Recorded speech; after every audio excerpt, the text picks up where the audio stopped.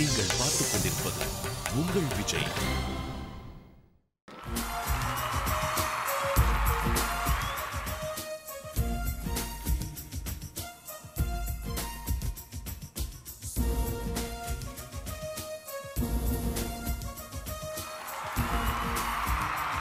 எல்லாருக்கும் வணக்கம்.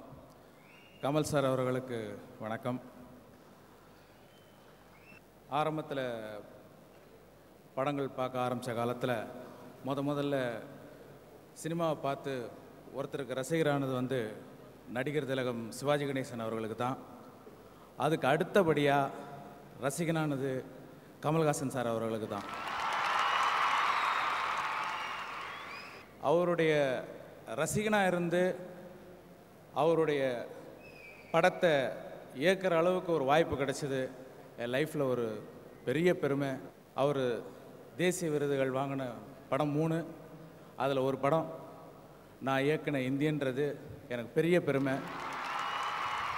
அந்த பெருமையை கொடுத்த கமல் சாருக்கு நான் என்னென்னைக்கும் நன்றி கடன் பட்டிருக்கேன்.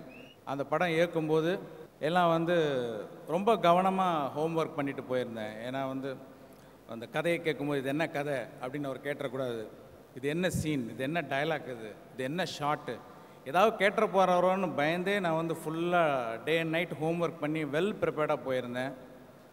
ஒவ்வொரு நாளும் அவர் ஏதாவது கேட்டுருவாரோ இந்த ஷார்ட் சரியில்லைன்னு சொல்லிடுவாரோ இல்லை இந்த வசனம் சரியில்லைன்னு சொல்லிடுவாரோ இந்த காட்சி சரியில்லைன்னு சொல்லிடுவாரோன்னு பயந்து பயந்து ரொம்ப உஷாராக ஒர்க் பண்ணேன்.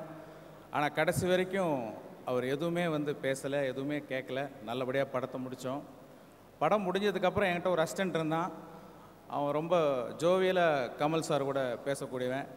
சார் எல்லாரும் சொல்கிறாங்க நீங்கள் வந்து எ- எந்த படம் பண்ணாலும் வந்து நீங்கள் உங்கள் சஜஷன்ஸ்லாம் சொல்லுவீங்க. இது மாதிரி ஷார்ட் பற்றிலாம் டிஸ்கஸ் பண்ணுவீங்கன்னு சொன்னாங்க. ஆனால் இந்த படத்தில் வந்து நீங்கள் எதுவுமே சொல்லலையே என்ன காரணம்? அப்படின்னு கேட்டான். அதுக்கு அவர் சொன்னது நீங்கள் உங்கள் வேலையை கரெக்டாக செஞ்சிட்ருக்கீங்க. அதனால தான் நான் எதுவுமே சொல்லலை அப்படின்னு சொன்னார். Is really great thank you sir